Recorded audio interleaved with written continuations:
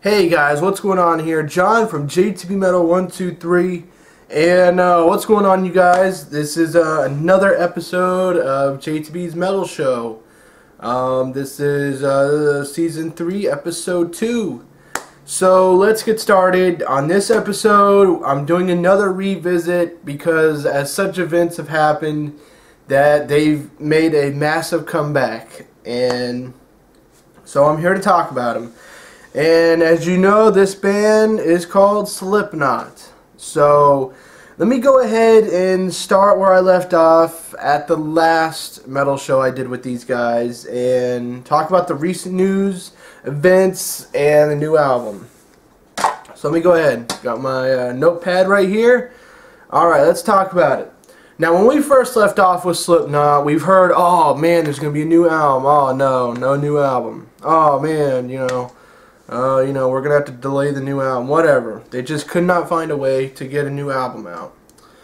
Well, 2013 comes, and uh, we hear a lot of different things. We hear, you know, 2012, 2013. At the end of 2012, Joey kind of, you know, fizzled out. He ended up getting fired from the band. Um, for reasons we don't know yet. For reasons you know, we keep hearing it could be drug related. It, it could be that I, I don't know. I don't know what's going on with the whole Joey Jordison thing. But if it is drug related, then that's gonna really suck. But if it's not, then I I don't know. But I it's I really miss Joey in the band. I really do. He was probably in my top three favorite members of the band. Um, one hell of a drummer. If you haven't seen Disasterpieces, I suggest you go watch that right now and stop watching this. But anyways, Joey Jordison ended up getting fired, and I was like, well, that's kind of a bummer. And uh, after that, um, I know this isn't Slipknot related, but um, later on, Jim Root ended up getting fired from Stone Sour. And uh, just here recently, we found out that um, Jim Root actually quit the band. Well, no, he didn't get. Well, you know, no, he didn't quit, but he ended up getting fired. But he said um, in, a, in an interview, he said that Stone Sour wants to be this poppy band that just cares about money, and I think him saying that kind of statement, I think he wanted to leave anyways. So yeah, that that kind of, that kind of gave me the you know I was like, man, that's that's a really weird thing. Um, so yeah, Stone Sour is all about money. So if you don't want no more Stone Sour, you guys, don't give them your money. Don't buy their albums. Nope. Anyways, alright. And then all of a sudden, after that happened, we learned about that. They, uh, Slipknot put out a new video, uh, The Devil and I. Um, and people found out about their, their bass, their bassist. Um, he was identified as Alessandro Ventrella. Not really say if I said his name right. And, uh, you know, so that was pretty cool. And rumor right now, we don't, it, it, Slipknot's never going to confirm it, supposedly. They're always going to hide that their, that their drummer is Jay Weinberg. But supposedly, and it looks like him in, in the, um, you know, in the video, it, it looks like Jay Weinberg. He uh, used to play for, uh, um, he used to play for a band called Against Me, and I think he's like Bruce Springsteen's uh, son or some shit like that. I don't know. But uh, yeah, Alessandro Ventrella, the bassist, he plays in a band right now called Krokodil with a K and everything. And also, um, he used to be the guitar tech for uh, Mastodon. So I was like, whoa, that's pretty badass. Um, so I, you know, I'm pretty cool. You know, they had to replace Paul, which, you know, I know it's probably a really hard thing for them to do. We're always going to remember Paul no matter what. But, uh, yeah, Alessandro Ventrella, new bassist. Jay Weinberg, not going to confirm it, but it looks just like him, and rumors are saying that's him, Jay Weinberg. Alright, and, uh, oh, actually, you know what? I got to bring up a really good point, actually. Jay Weinberg's um, former band Against Me, the lead singer posted a, um, a, status on Twitter saying, you know, she put up him in the mat in the Slipknot mask, and she put on, she said, a shit bag. So I guess she really doesn't like Jay Weinberg that much. He or she, whatever the fuck he or she is, I don't know. She went and got like a sex change or whatever. I don't know. Weird band. But whatever. Um, so she, I think she, for me, myself, she confirmed that it's Jay right there. Because she pretty much told her former drummer, which is Jay Weinberg, she said that towards the new Slipknot drummer, Jay Weinberg. So, I don't know. That, that kind of confirmed it for me, at least. Alright, anyways, besides all the Slipknot drama, the Slipknot bullshit, we ended up getting a new album out of this whole thing. After two music videos, the negative one, The Devil and I, after two of those, they finally, just today, actually, they just put out the video today, or, uh, no, not the video, but the album today. Um, we got the Gray Chapters. And, uh, well, we're going to go ahead and talk about that soon, later on. Um, so here we go. You guys, Slipknot, I'm going to do, if you haven't seen my video of the history of Slipknot, the very beginnings to the whole history of Slipknot, you need to go and check out my other JTB Metal video, the first Slipknot, because this is just a revisit, because a lot of stuff went down after all this happened. But anyways, you guys, I do have a list for you, and this is, including the Gray Chapters, this is the best top five Slipknot records. So let's go ahead. Let's get this done. And uh, tell me if you agree with this. Now, a lot of people are going to talk shit about this. Probably. A lot of people are probably going to hate me for it. But, let's go. Starting at Slipknot's... You know what? We're gonna we're gonna we're gonna start at number five. We're gonna start from the least and work our way to the best. How about that? I usually don't do it that way, but whatever. Alright, number five. My this is not my favorite album, and I hope everyone else can agree with me. But my very least favorite album from Slipknot is All Hope Is Gone. And the reason why this is not my my very first favorite is just because of just everything about it. Everything from the big tribal heads on the bonus DVD, from the from the music, from you know I mean, if you, if you take Butcher's Hook and you compare that to Left Behind, or you compare that to Spit It Out, that's probably the heaviest song on All Hope Is Gone, and that doesn't even just no. Dead Memories is is not. It's just not Slipknot heavy. It, it's Slipknot that tried to win. It's like Metallica's Black Album. What what what what Metallica tried to do with Black Album, this is Slipknot doing their own little Black Album, trying to win over a lot of mainstream fans and I'm sorry they just they did not get they just didn't get away with it here. I'm sorry.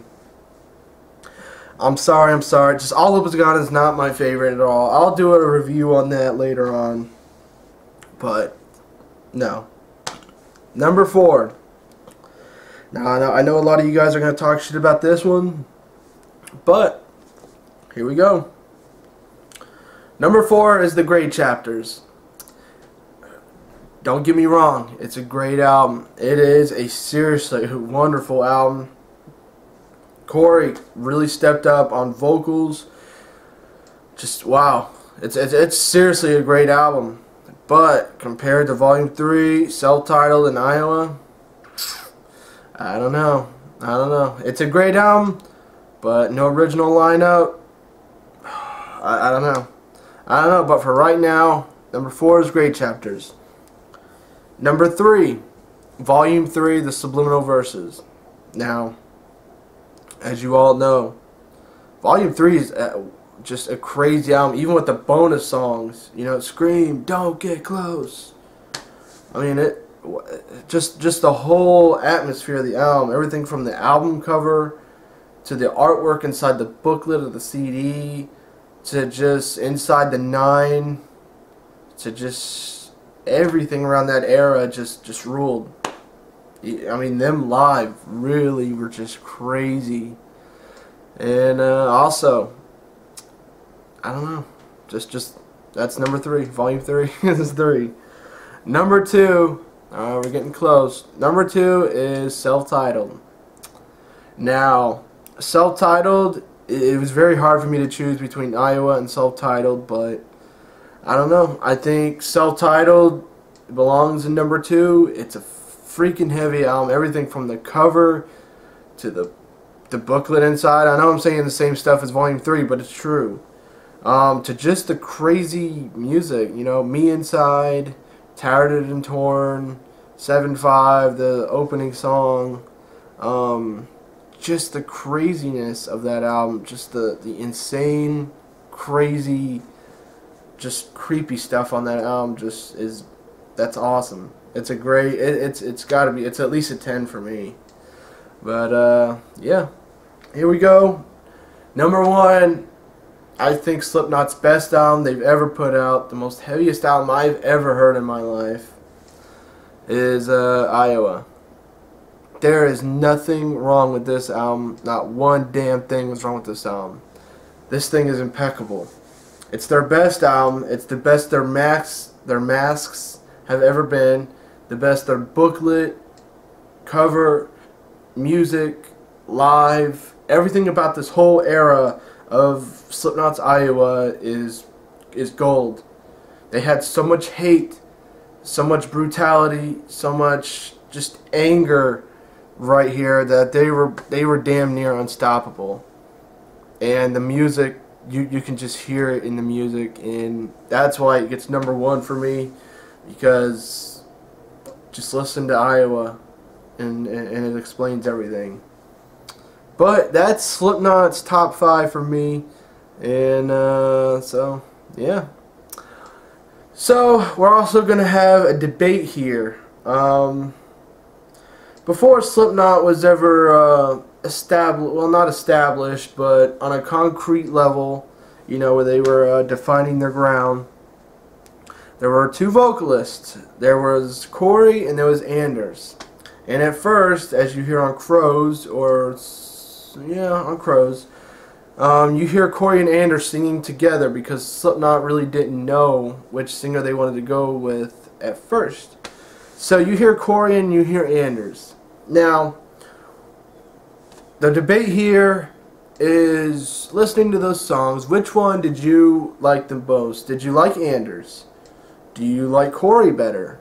Do you think Anders had the upper hand? Do you think Corey had the upper hand? You know, do you think Corey would have done better in self-titled? I mean, uh, or in uh, Stone Sour? But I don't know. But my answer, I know it's probably going to be a lot of yours, but I, I don't know. I just wanted to bring it up in case you guys really liked Anders. Um, I, I preferred Corey. I did. Corey had a better voice, um, a better scream, and he won that battle. So, yeah. I'm going to have to go Corey on that. So, if you guys decide to choose Anders, if you guys choose Corey, please let me know in the comments below what you guys choose. And uh, yeah. And also, one more thing before I go. I do want to talk about Paul Gray because he is a very substantial member of this band still. And uh, it is very sad that he is gone. And uh, the day that I found out he was gone, I was actually I actually bought um, I actually bought Six Feet Under's Warpath album and uh, my buddy calls me and he tells me, "Hey, dude, Paul's dead." I'm like, "Wait, who's Paul?" Paul Gray from Slipknot. I'm like, "Dude, no way." So I go home, I confirm it. Paul's dead, and um, you know, after that, Slipknot had the press conference, and it was really sad, really sad. So Paul, you know, miss you, buddy and uh, I'll never forget you. So rest in peace, Paul. And uh, that's where I kind of want to end this is uh, paying my respects to Paul. Alright, so anyways, you guys, if you guys have a different list of the best, you can even do the worst Slipknot albums if you want. Um, just uh, please let me know in the comments below. Make your own list. You can send me a video as well. Um, and uh, yeah, I hope you guys really liked all these news stories, all these Slipknot drama stories. Um, my lists are our little shishkadoo with Corey and Anders. So uh, I want to thank you guys very much for watching, and I will see you next time on JTB's Metal Show. Keep it metal, you guys. Go listen to the new. Uh, uh, go listen to the new uh, Slipknot record. It's it's streaming right now. So or go buy it. See you later, guys.